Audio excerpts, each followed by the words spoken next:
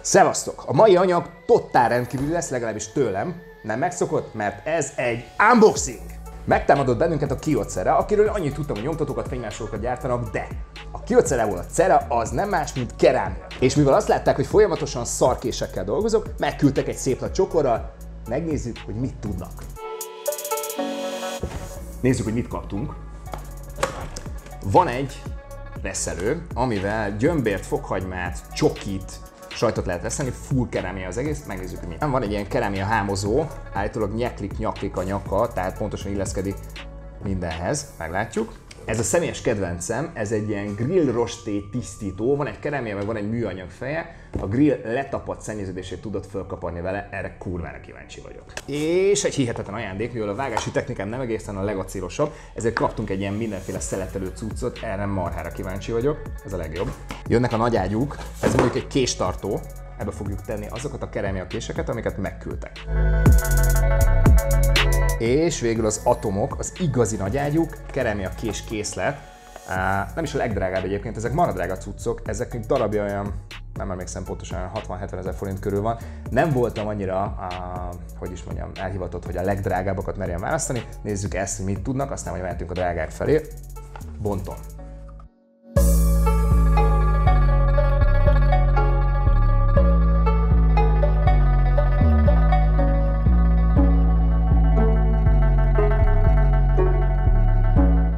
Szóval azt mondták, hogy brutálisan erős, brutálisan éles, minden tud, mint egy legjobb acélkés, de annál sokkal többet, 15-ször tovább tart az éle. Ezt mondják. De mi meg nem hiszük el. Szóval én úgy vagyok vele, hogy a puding próbálja az evés, és ha azt mondják, hogy ez borotva éles, akkor tegyünk egy próbát. Borotváljunk vele. Mégpedig engem.